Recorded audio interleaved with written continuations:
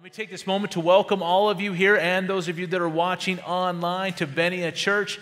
Venia means grace, and here at Venia, we share God's grace by loving people because God accepts us as we are and sees the potential of who we can be. Amen? Amen. God's word changes lives. So this morning, we're going to be in the book of Daniel, chapter 11. Uh, and I want to talk to you this morning about the repetition that can be found in God's word. Uh, God's word can be very, and I may even use the word extremely repetitive. Uh, let me give you an example. Uh, the idea of being holy. God tells us to be holy. Why? Because He is holy. And this is a topic that you will hear, a concept in God's Word over and over and over again. In the Old Testament and in the New Testament, we are to be holy. In other words, set ourselves aside. Our life is to be set apart from everything else so that way our life can be used for God and His glory. That's what being holy is. God tells us over and over again that we are to be holy, and it can almost appear to be repetitive in a way where we're like, oh my gosh, okay, I'm supposed to be holy, but what God's trying to do is make sure that we get his emphasis. And so the use of repetition in the Bible is usually emphasizing the importance of the thing that's being repeated, whether it be a person or a theme or an event. God is trying to drill it into our minds, and so He's going over it and over it and over it. And it can be a very, very powerful tool. Um, advertisers use this tool all the time. Uh, EA Sports. It's in the game, right? I mean, everybody knows EA Sports, it's in the game. Or McDonald's. I'm loving it, right? Skittles. Taste the rainbow. Nike. Just do it. All right, now let's see who was growing up in the 80s. Plop, plop, fizz, fizz. Oh, what a relief it is. Alka Seltzer, there you go. Wendy's. Where's the beef? How about this? Clap on, clap off, clap on, clap off the clapper, right? I mean, it's just this repetitive thing. The more you hear it, the more it sinks in. It sinks into the point where you haven't seen that old lady walk into a Wendy's in probably 30 years now. But you remember that little old lady, where's the beef? I mean, it's just ingrained into our minds to the point where we know it. Uh, you can see how well repetition works.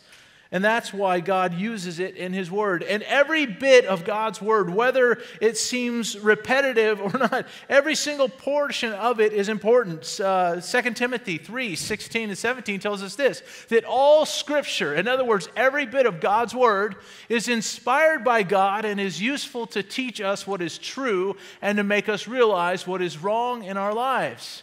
It corrects us when we are wrong and teaches us to do what is right. God uses it to prepare and equip his people. Why? To do every good work. God has things that he wants us to accomplish in this life for him, and so he ingrains these truths in our lives over and over and over again until it becomes a part of who we are, so that way we're equipped to do everything that God has called you and I to do.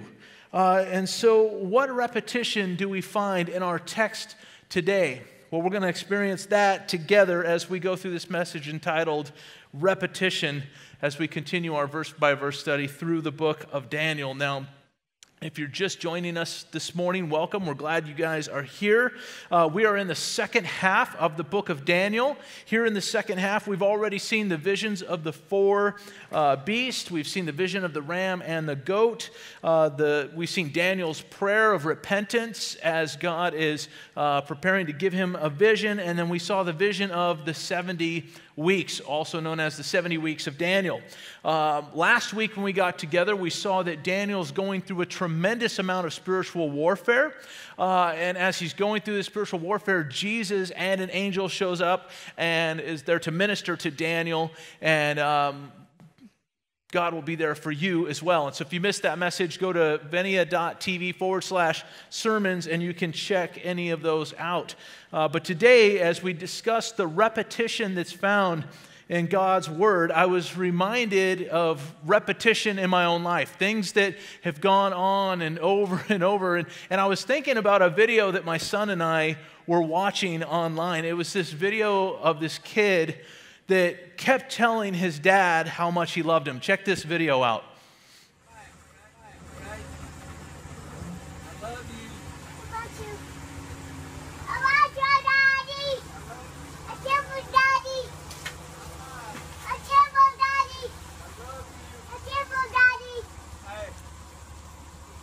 Bo Daddy kiss. Stay right here, Colton. Colton, wait.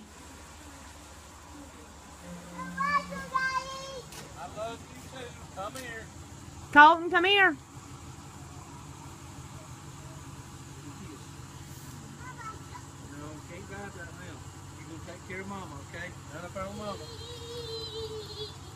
love you, Daddy. I love you, sunshine. I love you, Daddy. I love you. Bye, Daddy. I love that. That, that goes on for two and a half minutes. He, the dad's driving down the road, and the kids say, oh, I love you, dad. And the dad's just yelling out of the truck, I love you too, son. Just kept going back and forth. And my son and I were cracking up at that because that is us. That's always been me and my son. And even to this day, I mean, he's going to be 20 in a couple months, you know? And we'll call and we're talking on the phone, and we're, all right, love you, son. Love you too, dad. Love you.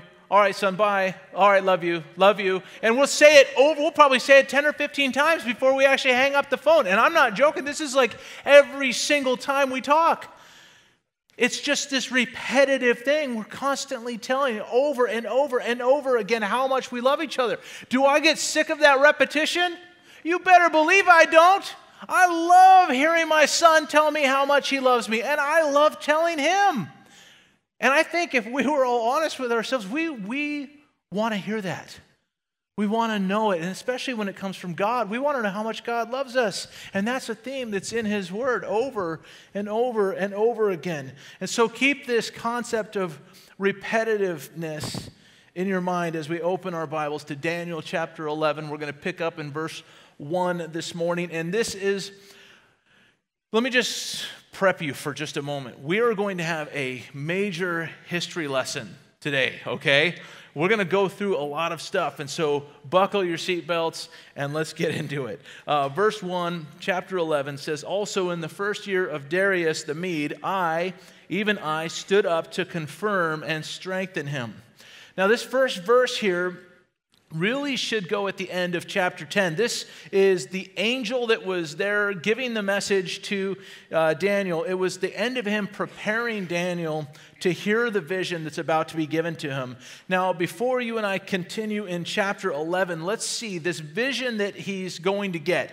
Where does this vision fit in with the 70 weeks of Daniel? Uh, and so, in order to figure that out, let's just review quickly the 70 weeks of Daniel.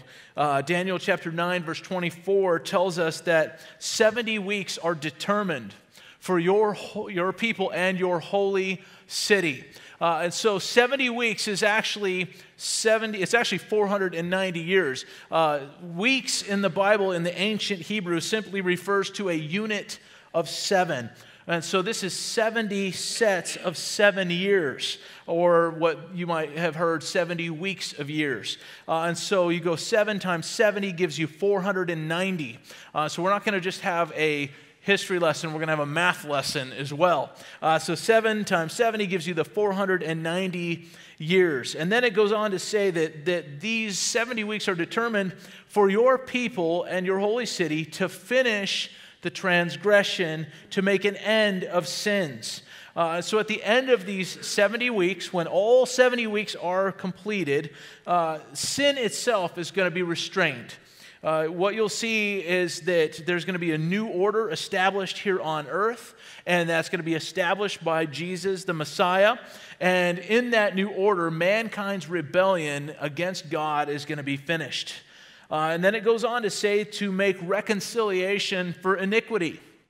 Uh, if you are here today and you're not a person who's placed your faith in Jesus Christ, first of all, from the bottom of our family's heart, we are glad you're here or we're glad that you're watching online because there is a consequence to sin. And when I say a sin, what I'm talking about is God has a way of living that He wants for us. He's laid it out in His Word that there's a certain way we're supposed to live our lives.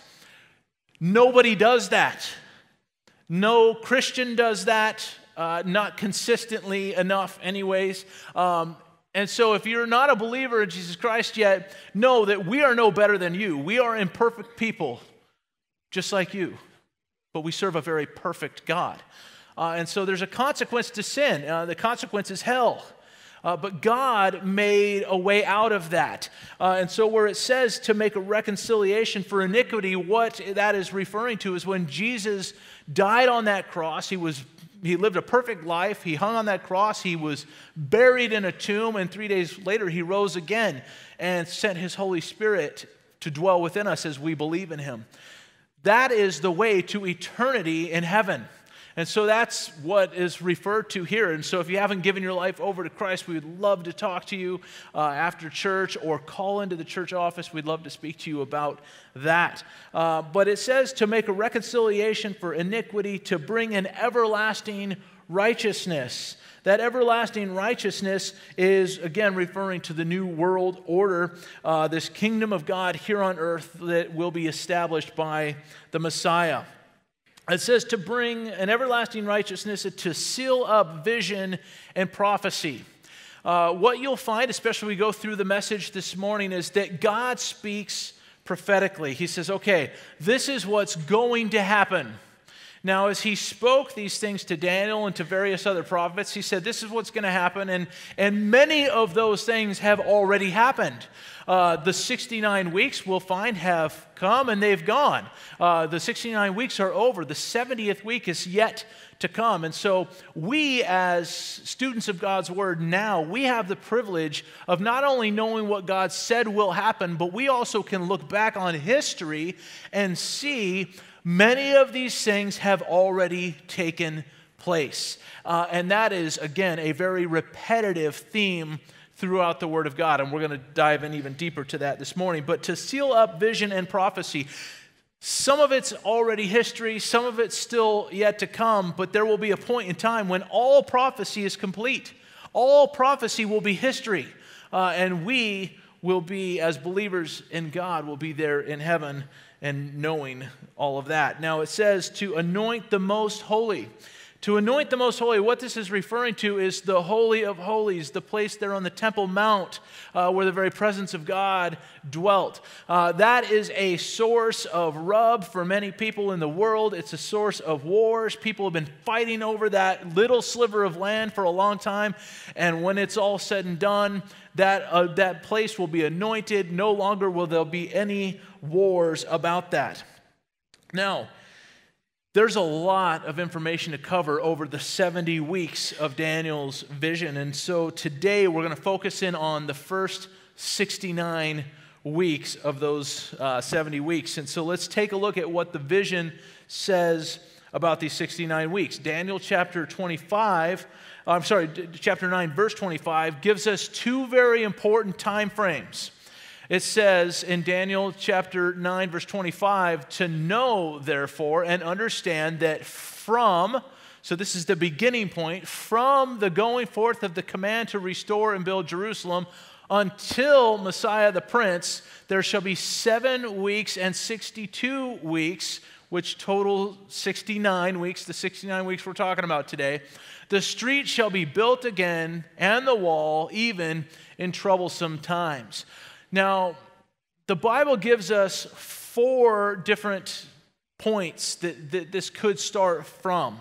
Uh, because it says that, that it's from the command to both restore and build Jerusalem. Keep in mind, Jerusalem is a city in Israel. Uh, so there's four possibilities of when this could have taken place. The decree of Cyrus in Ezra chapter 1 and Ezra chapter 5, where uh, Cyrus gave a decree that Ezra had the right to return to Jerusalem and rebuild the temple in 538 BC. That most likely isn't the beginning point, and I'll tell you why. It was to return to Jerusalem and rebuild the temple. Uh, but what's clearly stated in this is that it's the command to restore and build Jerusalem, which is the city as a whole, not just the temple. Uh, so that most likely isn't the beginning point. Another uh, time was given by Darius, uh, similar decree in 517 BC. We see in Ezra chapter 6 that he gave the same decree go back, rebuild the temple. Also, Artaxerxes did the same thing in 458 BC in Ezra chapter 7. And so those are three points that some people believe it may have started from. Here's the point that I believe it is it's 445 BC. If you've ever read the book of Nehemiah, Nehemiah chapter 2, you know that, that Nehemiah's just got a burden for the city. He goes to Artaxerxes and he says, I, I want to go back, I want to rebuild the entire city. And so he gives him three things. He gives him permission, he gives him supplies, and so we know he got the, the you uh, know, cedar from Lebanon. So he gave him permission, he gave him supplies, and he gave him protection to go through. He gave him letters of protection to give him all that he needed to go and do this. And so this was to rebuild the city Jerusalem. And so most likely that is the point that it started. And so the 69 weeks span from the command to re- restore and rebuild Jerusalem until Messiah the Prince. Uh, that is, of course, our Lord, our Savior Jesus. Uh, now, some debate as to when this date was. Some people believe it's when the Messiah was born. Uh, other people say, well, it wasn't when he was born, it was when he was baptized by John in the Jordan. And some people are like, well, no, it wasn't until he was crucified, died, and rose again. Um, now, I, I believe that it actually wasn't any of those dates. What I want to submit to you this morning is it was most likely Palm Sunday, April 6th, 32 AD. And here's why. If you read the Gospels, all four of them, and you look at the life of Jesus, there was, again, a very common, very repetitive theme in the life of Jesus. Jesus did not want attention to be on him. Jesus said, shh quiet. I'm gonna, I'm gonna heal you. Don't tell anyone. I'm gonna change this water into wine. Just, it's not my time yet. And he kept saying, This isn't my time. I'm not there yet, you know, and he would he would reject it when people would try to hail him as the king, hail him as the Messiah, until one very specific point in time. That's when he purposefully set his disciples out to find the colt of a donkey and to bring it to him that he would ride into the city Jerusalem and everyone threw palm leaves down on the ground. They held him as Christ, as the Messiah, as the King of the Jews. That's the one time where he said, Worship me as that. It was very significant in the life of Jesus that he that for so long repetitively said, "Don't bring attention to me," and then one time deliberately walked in and was held as Messiah. Uh, and so I believe that that was the time that that took place. And so from Nehemiah chapter 2 all the way through to Palm Sunday 32 AD. Um, and so, seven weeks and 62 weeks gives us our 69 weeks. Uh, seven weeks, so you go seven times seven, that equals 49. Uh, it took 49 years for Jerusalem to be rebuilt. Uh, then you've got the 62 weeks, which brings you up to 69. That's a, an additional 434 years for a total of 483 years from the time that Nehemiah was given the command to rebuild Jerusalem all the way until Palm Sunday. Uh, and from that point, as Jesus goes into the grave, he rises again and sends his spirit, and people receive the spirit within them. The church was born.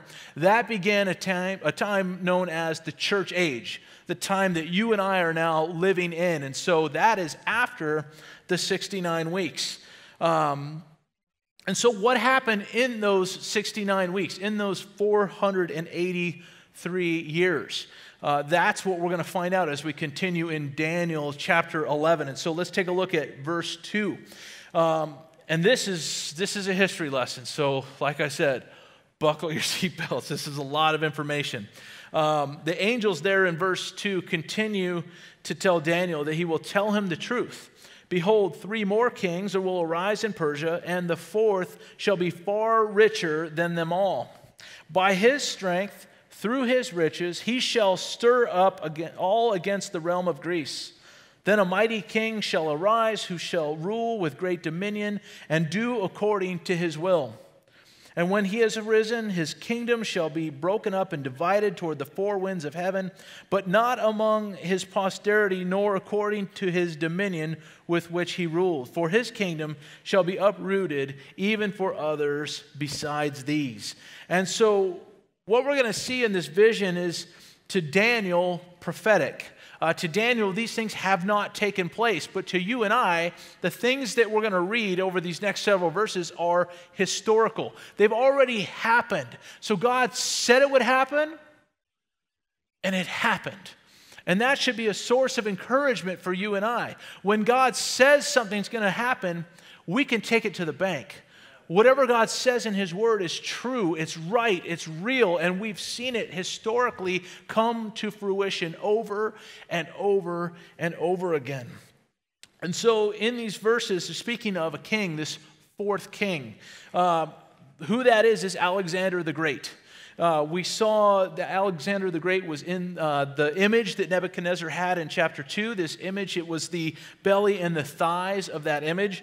Uh, it was also the leopard with four heads in Daniel chapter 7, and then it was the goat from Daniel chapter 8. Um, do you see the repetition that's going on here in the Word of God? You've got this vision, you know, this dream in chapter 2, and then you've got chapter 7, and then chapter 8, and then chapter 9, and then chapter 11, and it's going over and over and over and over the same exact things. And every time it's building on itself. Uh, and so God is using this repetition to ingrain it in our mind that when God says something will happen, it will. We have the privilege of seeing that. So this angel goes on in verse 5 saying, Also, the king of the south shall become strong, as well as one of his princes, and he shall gain power over him and have dominion. His dominion shall be a great dominion, and at the end of some years they shall join forces. For the daughter of the king of the south shall go to the king of the north to make an agreement. But she shall not retain the power of her authority, and neither he nor his authority shall stand. But she shall be given up with those who brought her, and with uh, him who begot her, and with him who strengthened her in those times. And so God spoke this and then we got the privilege of seeing it. This is speaking of Ptolemy the first and a marriage between Antiochus the second and Berenice, who was the daughter of Ptolemy the second. A lot of names. But what you have to understand is God said it would happen, and later on, it happened. It happened in exactly the order that God said it would happen. Notice in verse 7 it says that from a branch of her roots one shall arise in his place, who shall come with an army, enter the fortress of the king of the north, and deal with them and prevail. And verse 18 says, He shall also carry their gods captive to Egypt with their princes and their precious articles of silver and gold, and he shall continue more years than the king of the north. Also, verse 9 uh, the king of the north shall come to the kingdom of the king of the south, but shall return to his own land. However, his sons shall stir up strife and assemble a multitude of great forces, and one shall certainly come and overwhelm and pass through, and he shall return to his fortress and stir up strife. Now, all of this was fulfilled in the person we know historically as Ptolemy the third. And then in verses 11 uh, through uh, 16, we see that these battles continue on. Verse uh, 11 says, It says that um, the king of the south shall be moved with rage and in. Um, and go out and fight with him, and the king of the north, who shall muster a, a great multitude, but the multitude shall be given into the hand of his enemy when he has taken away the multitude, his heart will be lifted up, and he, cast, he will cast down tens of thousands, but he will not prevail. For the king of the north will return and muster uh, multitude greater than the former, and shall certainly come at the end of some years with a great army and much equipment. Now, verse 14 says that in those times shall uh, uh, those times many shall rise up against the king of the south, also violent men of your people shall exalt themselves in fulfillment of the vision, but they shall fall. So the king of the north shall come and build a siege mound and take a fortified city, and the forces of the south shall not withstand him. Even his choice troops shall have no strength to resist. But, verse 16, he who comes against him shall do according to his own will, and no one shall stand against him. He shall stand in the glorious land with destruction in his power. And so these battles are going on between the north and the south, and there is Israel, this little nation, stuck right in the middle. And so the north will go down, battle with the south. There they are. The south would come up, battle with the north. And they're just kind of caught in the middle of all of this. And uh, it's not good for them the whole time this is going on. and so verse 17 says that he, that is Antiochus, the third shall also set his face to enter with strength of his whole kingdom, and upright ones with him. Thus shall he do. And he shall give him the daughter of women to destroy it, but she shall not stand with him or be for him. And so this is when Antiochus III gave his daughter Cleopatra to Ptolemy the fifth. And so, what he was trying to do was gain influence. Uh, and he thought, okay, if I give my daughter over, she'll get married. Now I'll have this influence there. And he wanted to be able to someday uh, control Egypt. And so he's thinking, this is the best way for me to do this. But his whole plan failed because his daughter wasn't faithful to her husband. Uh, and so that effort failed. And then in verse 18, he shall turn his face to the coastlands and shall take many. But a ruler shall bring the reproach against them to an end, and with the reproach removed, he shall turn back on him. Then he shall turn his face toward the fortress of his own land, but he shall stumble and fall and not be found. There shall arise, verse 20, in his place one who imposes taxes on the glorious kingdom, but within a few days he shall be destroyed, but not in anger or in battle. Now, this person who imposed taxes on the glorious kingdom, being Israel, was Seleucus uh, III, who was the eldest son of Antiochus III. And many people believe he was killed by his brother Antiochus IV, who you may all remember from Daniel chapter 8. When we were teaching through Daniel chapter 8, we talked about Antiochus IV. He was the Antichrist of the Old Testament. And so uh, we, we went through his life and, you know, kind of in some detail when we did Daniel chapter 8, but he was known as the Antichrist of the Old Testament. And this angel goes on to tell him about this man, Antiochus the fourth. Uh, it says in verse 21 that in his place shall arise a vile person, that vile person being Antiochus the fourth um, to whom they will not give the honor of royalty, but he shall come in peaceably and seize the kingdom by intrigue. With the force of a flood, they shall be swept away before, from before him and be broken, and also the prince of the covenant. And after the league is made with him, he shall act deceitfully, for he shall come up and become strong with a small number of people. He shall enter peaceably even into the richest places of the province, and he shall do what his fathers have not done, nor his fathers. He shall disperse among them the plunder, the spoil, and riches, and he shall devise his plans against the strongholds, but only for a time. Verse 25 says, He shall stir up his power and his courage against the king of the south with a great army, and the king of the south shall be stirred up to battle with a very great and mighty army uh, but he shall not stand, for they shall devise plans against him. Yes, those who eat of the portion of his delicacies shall destroy him. His army shall be swept away, and many shall fall down slain.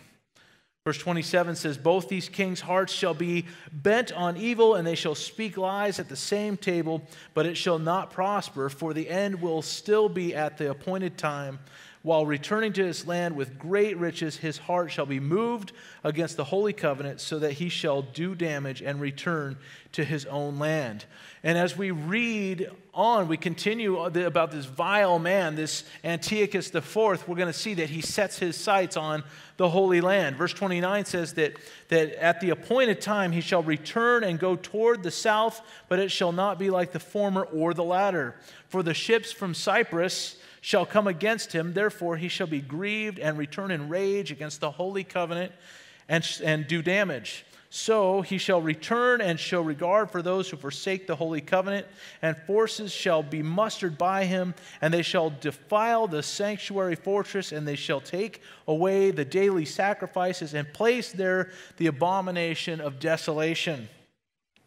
Uh, verse 22 says, Those who do wickedly against the covenant shall corrupt with flattery, but the people who know their God shall be strong and carry out great exploits.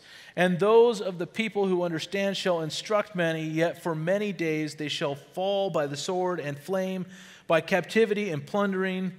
Now, verse 34 when they fall, they shall be aided with a little help, but many shall join with them by intrigue. And some of those of understanding shall fall to refine them, purify them, and make them white until the time of the end, because it is still for the appointed time. that is a whole lot of history. Uh, Daniel's there receiving this as prophecy. This angel saying this is going to happen, and then this is going to happen, and then this, and then this, and then this, and he's just going on and on and on. All these things that are going to take place. And here we are in the you know 2016 we're able to open a history book and go okay that happened and that happened and that happened and, and we're going through all these things that god said would happen that actually happened and so, this vile person that's spoken of here is this foreshadow of the Antichrist that we're going to see in the 70th week.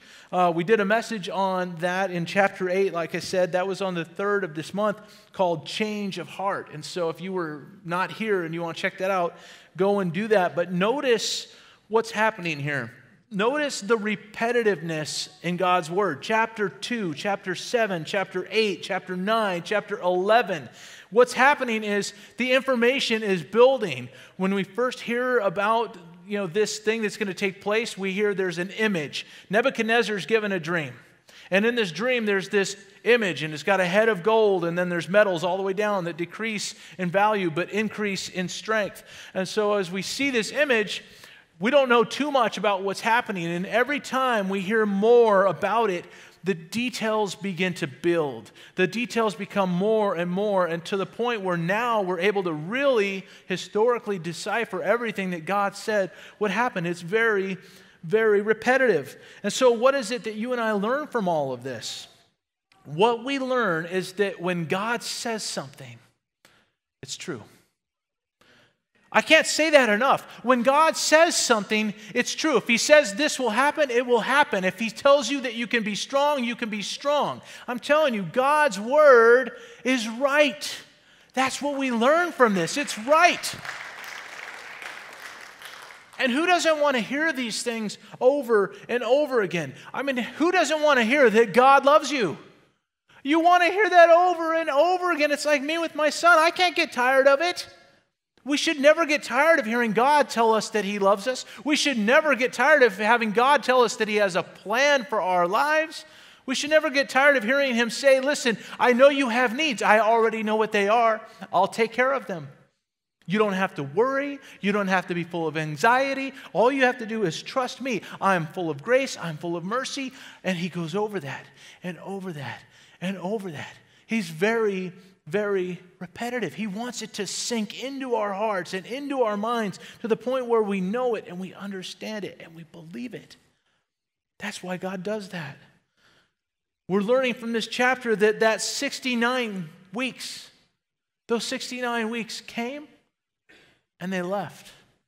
That church age came and we're living in it now. And guess what? That church age that we're living in is going to be gone someday. That 70th week, it's going to come as well. And someday it'll be over. God's telling us these things and we know them to be true. And listen, we're living in times of uncertainty. We're living in times where there's wars and rumors of wars. All you have to do is turn on the news for five minutes and you will see we are living in uncertain times where there are definitely wars going on and rumors of wars. There's so many things out there we're like, I don't even know what's happening anymore. There's so much. These people are attacking them, those people are attacking them. It's like crazy out there. There's wars and rumors of wars. We're living in uncertain times with finances. You look at the world financial market, it is insane. You just look at the American stock market, this year was the worst start in the entire history of the stock market. And we've had so many, anybody following this? It is crazy. Would go up 400 points, drop 600 points. I mean, it's, it's just crazy going up and down. Crazy. We're living in times of uncertainty with the church. There's this great apostasy that's taking place. God said it would happen. You look all over the world, you go over to Europe, you go over to England, you see these big church buildings that are empty. One day they were huge churches where God was being worshiped, and today they're, they're just nothing but a tourist trap. People want to go and see where God once was worshiped. People are falling away from the churches left and right. Now, of course, I'm speaking to the choir right now because you're all here. And I thank God for you. I wish there were more. I wish churches couldn't, couldn't hold enough. I mean, it's just crazy the amount of people that have fallen away from God, but God said it would happen. Shouldn't surprise us. But these are uncertain times. Some people are living in personal uncertainty right now. They don't know about their own job what's going to happen tomorrow. They don't know where their finances are going to come from. They don't know where they're going to live. They don't, they're uncertain about their relationships. There's times of uncertainty. You know, there's another theme in God's word that's very repetitive it's that God knows you. He knows your name, He knows the amount of hairs that are on your head, even me. He knows you. He loves you. He has a plan for you. He knows what you need. He, you don't have to worry. You don't have to be overcome by, by anxiety. You can be strong. You be, can be courageous. Why? Because God said it. You can count on it. When God says something, you can trust it. When God says something, you can take it to the bank.